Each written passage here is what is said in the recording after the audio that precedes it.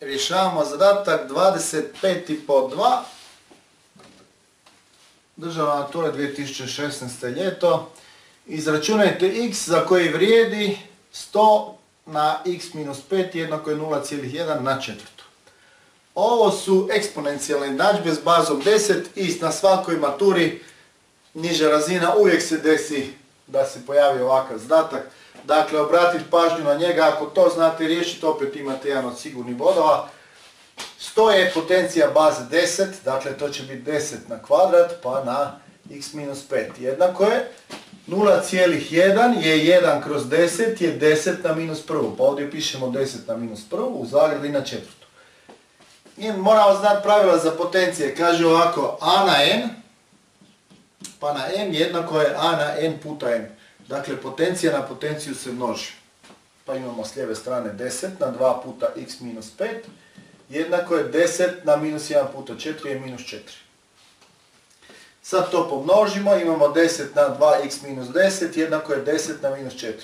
I opet pravilo za potencije, ako je a na n jednako je a na m, tada je i n jednako m.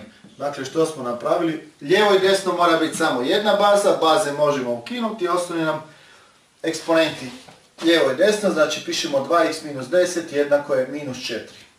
10 prebacimo na drugu stranu, pa imamo 2x je 10 minus 4, 2x je 6, podijelimo sa 2 i dobijemo x je 3. I to nam je rješenje ove jednadžbe. Ako bi taj 3 uvrstili gore, dobili bi lijevu stranu da je jednaka desnoj. To možete napraviti za provjeru, a i ne morate. Dakle, što nam je ovdje trebalo? Trebalo nam je poznavanje pravila o radu s potencijama, Mislim da ih imate u priloženim formulama i to je to.